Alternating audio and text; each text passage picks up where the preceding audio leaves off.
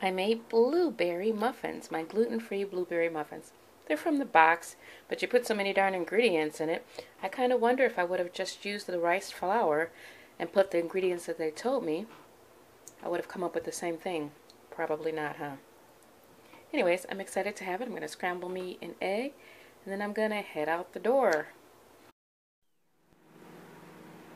This is how I pack my salad makings.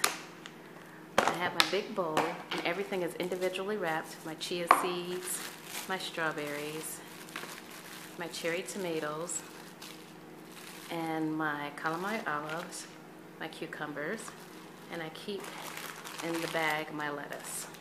I have my Italian dressing here that I generally keep here at work. Now I'm making spaghetti and this is the gluten-free spaghetti that I'm utilizing.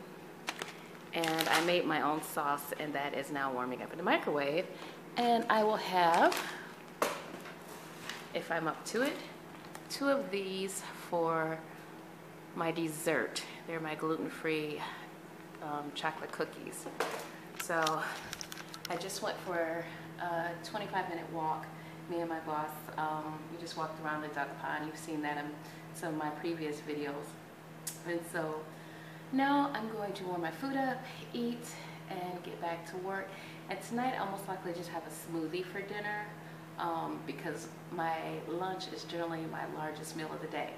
I had a bran muffin and a chai tea for breakfast. So that is all that I've consumed since then.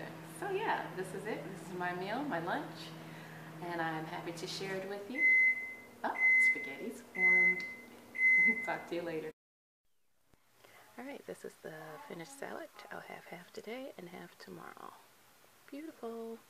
My spaghetti's done. The sauce has been warmed up. Lunch shall commence.